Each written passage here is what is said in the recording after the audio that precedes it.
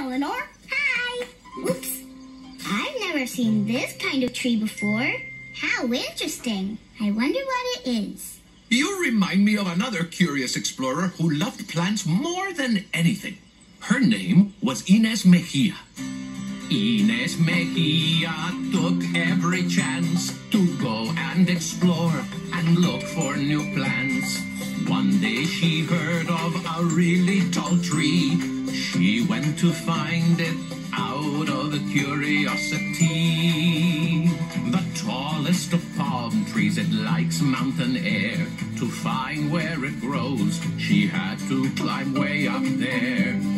Hiking through storms and wind and sun, she got a bit lost, but she still had fun. Ynés Mexia took every chance to go and explore she said when she first saw the tree, 200 feet high, as tall as she could see, she wanted to have this tree back home. So she took some seeds to grow her own. Ynés Mexia never missed a chance. She went and explored and found new plants.